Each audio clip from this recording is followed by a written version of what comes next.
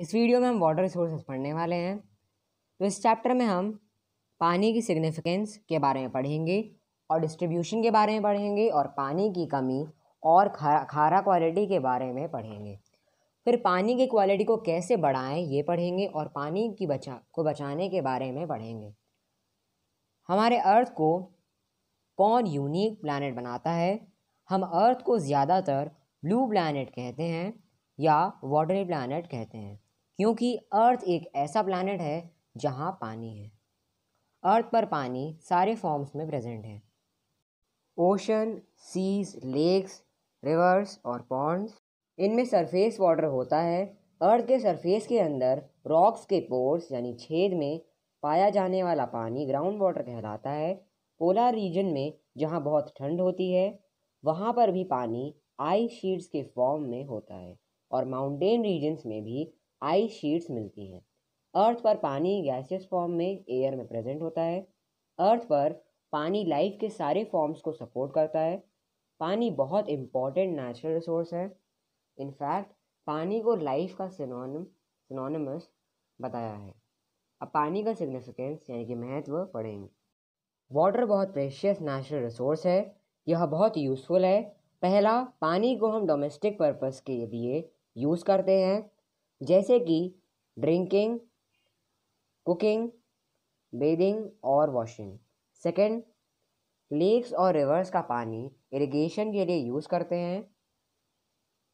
तो एग्रीकल्चर के लिए यूज़ करते हैं.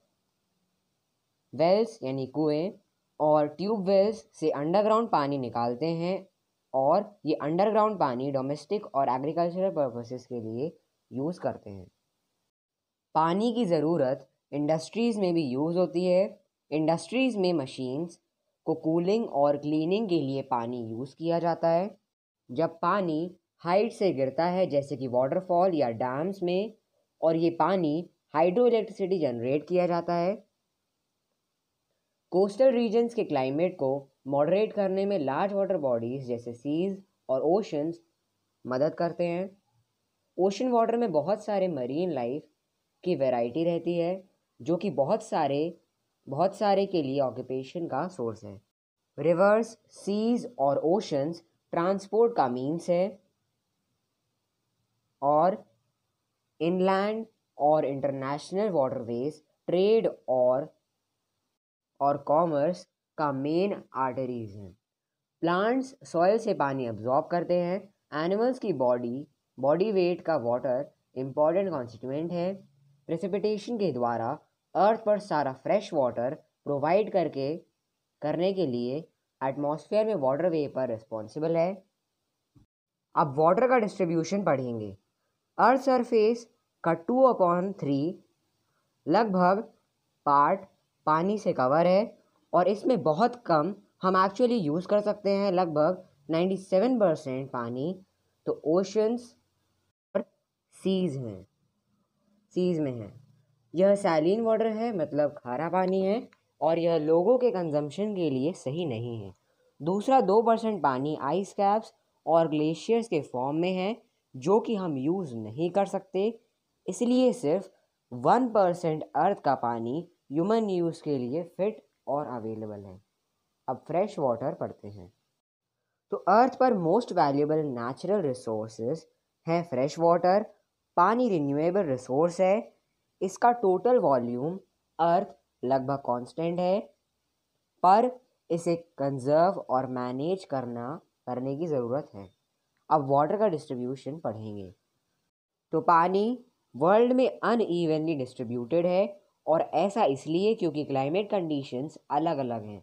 जहाँ पर प्रेसिपिटेशन ज़्यादा एवेपोरेशन से है, वहाँ ज़्यादा पानी होगा और प्रेसिपिटेशन ज़्यादा है, वो रीजन्स इक्वेटर और साउथ और नॉर्थ 20 डिग्री के लैटिट्यूड के बीच लोकेट होते हैं। 20 डिग्री और 40 डिग्री नॉर्थ और साउथ लैटिट्यूड्स के बीच रीजन्स में एवेपोरेशन में डेजर्ट की फॉर्मेशन होती है। अब हम वाटर मिलता कहाँ है, कहाँ से है, ये देखते हैं। मतलब सोर्स पढ़ेंगे। फ्रेश वाटर का मेन सोर्स है रेन रिवर्स और लेक्स रिवर्स और लेक्स में रेन सरफेस वाटर की तरह इकट्ठा हो जाता है।